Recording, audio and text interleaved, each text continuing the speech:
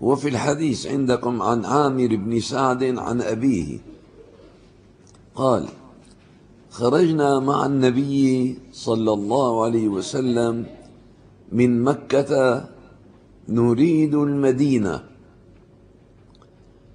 فلم فلما كنا قريبا من عزورة عزورة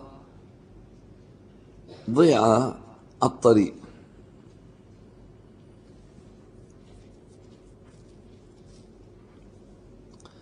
فيها ماء طيب فنزل النبي بها. فلما كنا قريبا من عزوراء نزل صلى الله عليه وسلم. ثم رفع يديه فدعا الله ساعة. اللهم اللهم اللهم ثم خر ساجدا. فمكث طويلا. طول السجود في هذه الساعة. ثم قام فرفع يديه. رد فز دعا دعا دعا فدعا الله ساعة. ثم خر ساجدا. فمكث طويلا. أول سجدة وثاني سجدة. ثم قام. فرفع يديه ساعة. ثم خر ساجدا. هي ثالث مرة ما هي؟ ثم قال إني سألت ربي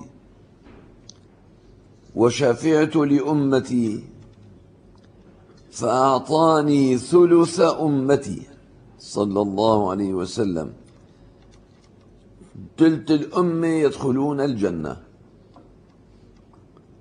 هذا ما أعطي النبي عليه الصلاة والسلام. فأعطاني ثلث أمتي. فخررت ساجدا شكرا لربي. ثم رفعت رأسي فسألت ربي. فأعطاني ثلث أمتي. تلت الثاني يدخل الجنة كل. فخررت ساجدا لربي. ثم رفعت رأسي فسألت ربي لأمتي. فأعطاني ثلث أمتي.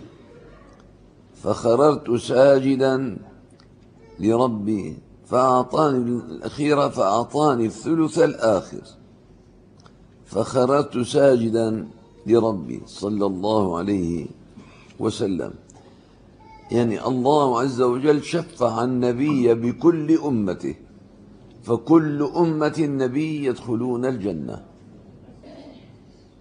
من آمن بالله ربا وبمحمد صلى الله عليه وسلم نبيا ورسولا وآمن بالقرآن.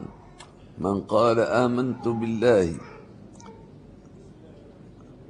آمنت بالله ربا وبالإسلام دينا وبمحمد صلى الله عليه وسلم نبيا ورسولا وجبت له الجنة.